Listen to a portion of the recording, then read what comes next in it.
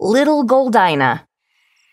Once upon a time, in a distant land, beyond towering mountains, lived a king and queen. They amassed wealth beyond imagination. Their riches overflowed like a golden river.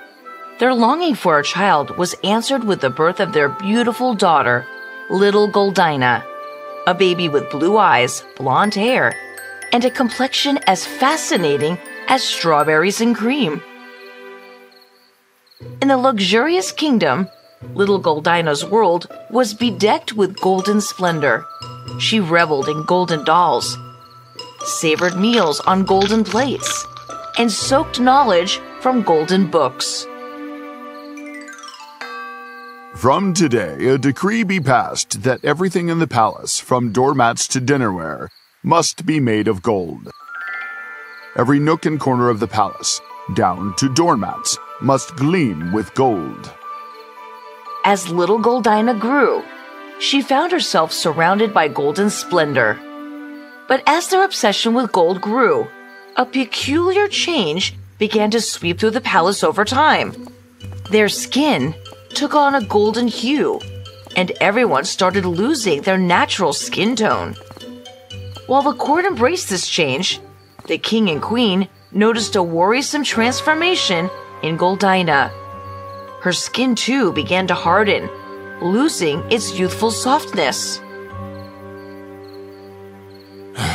My dear, our Goldina's transformation troubles me deeply.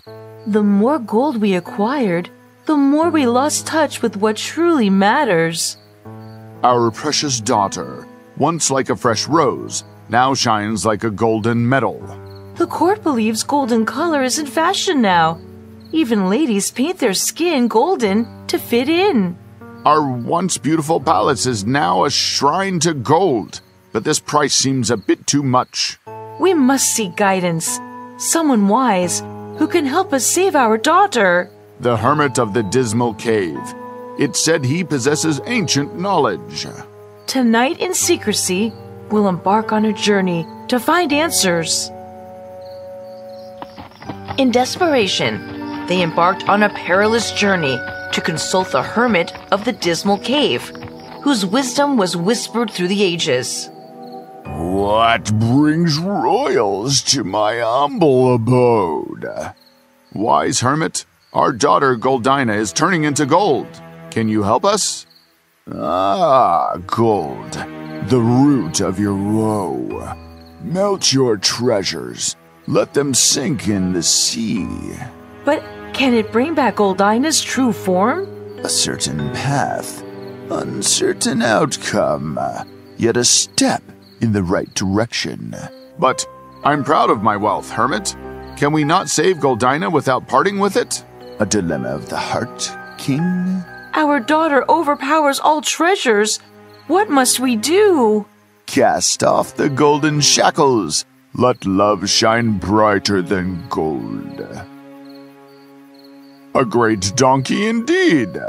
But Goldina shall not bear the brunt of it. To cure her, send her to the island of the Crystal Mountains. Will that bring back her natural self, dear hermit? Three years on the glass hills shall do the trick. But beware, she must never glimpse her reflection in the glass mountains. We shall make it so. Thank you.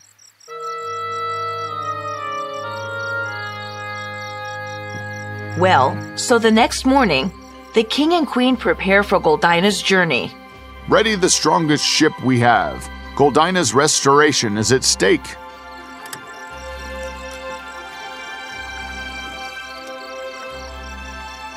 A journey to Crystal Mountains? How thrilling! Remember, child, never look at your reflection in the glass mountains. Your restoration depends on it, Goldina. No looking, I promise.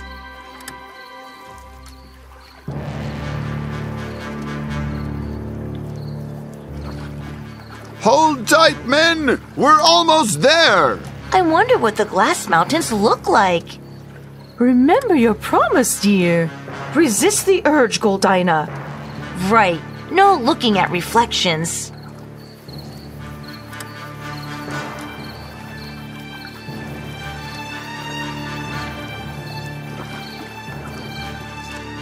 We've arrived, Princess!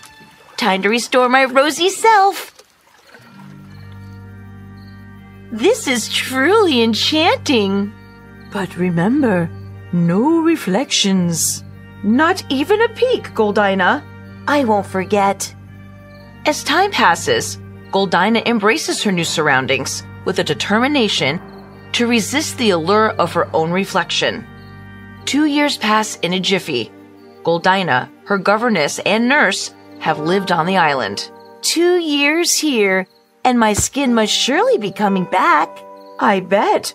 All thanks to your diligence, dear. I must add, with all the temptation around us, we've managed well. Another year, and we will be back home. The king sends the captain to bring news of how his daughter Goldina is doing.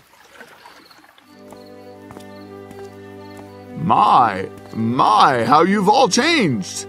Changed? What do you mean? Well, you're not golden anymore. What's that supposed to mean? Uh, nothing. Just an observation. You look as radiant as ever, my dear. I'm curious though. After the captain leaves, the thought of their appearances starts to intrigue them.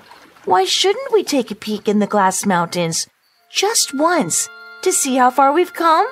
Don't even think about it, Goldina. A little look wouldn't hurt. Goldina and the nurse sneak out downstairs, determined to see their reflection. Quick peek won't hurt anyone. Where do you think you two are going? Oh dear, vanity won't solve anything. You're right, governess. Now back to bed, both of you. Yes, governess. The third year is almost about to pass, but Goldina, the nurse, and the governess, now all three, have fallen into the trap of vanity. Just one little look won't hurt, right? Maybe just a peek. Well, if you both are. Alas, they venture to the glass mountains, mesmerized by their reflections. Oh, I look splendid. I must admit, I'm looking rather lovely too. It's hard to look away, isn't it? Days turn into weeks as they lose themselves in their own reflections. The ship arrives to take them back home. Oh no! You're like glass! What do you mean? You become as fragile as glass, my dears. What have we done? Vanity led us astray. The captain does his best. Goldina is carefully wrapped in cotton wool to protect her from breaking.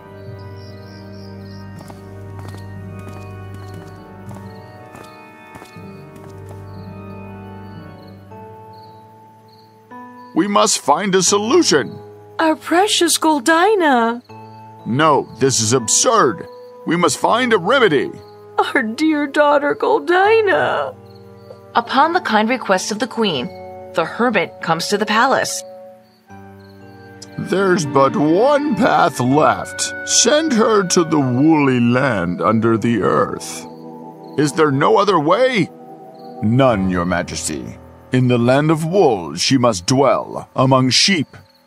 And what must she do there? Spin wool for three years in clothes of wool, as she lives amidst the bleating masses.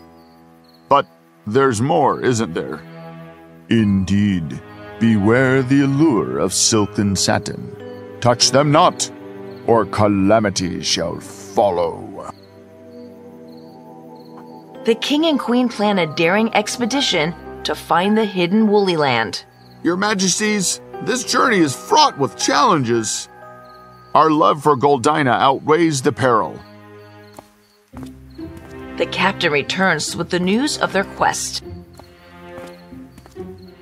Majesty, we found it. The woolly land under the earth. Tell us, how do we reach it?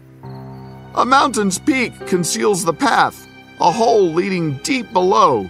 Ropes shall guide the way. Goldina, now dressed in wool, spins with the woolly sheep. There wasn't much to do in this woolly world. They had one job to spin wool and sing songs. And they forgot all about their pretty looks, and all about gold, and fine dresses, and vanity. Unbeknownst, they got their old looks back again and were no longer like glass. One day, when the three years were nearly over, Goldina, who always said what she thought, cried out, I wonder how we've changed after all this time. Wouldn't it be lovely to see the sun again? Goldina, such thoughts are frivolous. Just concentrate on your spinning. She's right. But the governess herself quietly sneaks past the shadowy landscape, while Goldina and the nurse get busy spinning. Just a little peek. Well, hello, sunshine. The governess admires the vibrant world. She is drawn to silk dresses and jewels hanging from trees. Nature's boutique, it seems? Harmonious birds? Bah, bah. Woolly wisdom, perhaps? Bah, bah. Ba, ba. What do you want, huh? Bah, bah. Gosh, never have I seen such pretty jewels. Well, if I'm going to try this silk. After a while, the nurse, suspicious of the governess's absence, investigates. She follows down the same path as the governess, gets lured by the sunlit world beyond the horizon. At the glimpse of the dazzling jewels and silk dresses hanging from the tree, she too gives into temptation. Oh, and the poor sheep bleats and mourns her too. The nurse ignores his plead. Whoa, what is this? Pl-? And she too meets the same fate. Left alone in the woolly wilderness, Goldina starts to panic about her companions. The woolly sheep follows her. After a weary trek, she too reaches the sunlit opening. Colorful birds, fluttering butterflies, and gorgeous silk and satin dresses adorned with jewels lure her.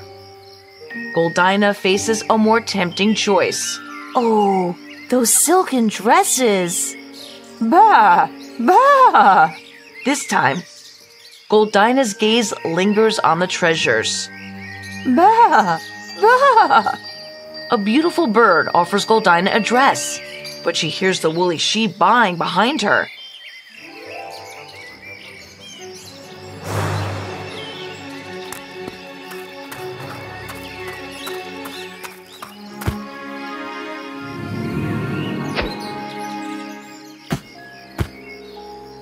Suddenly, the woolly sheep is transformed into a handsome prince.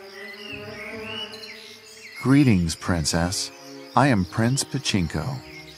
The woolly sheep is a prince? That savage bird you just wrestled to the ground is indeed a wicked enchanter. He trapped me here. You, brave Goldina, have shattered his malevolent spell. I couldn't have done it without you, because you saved me first.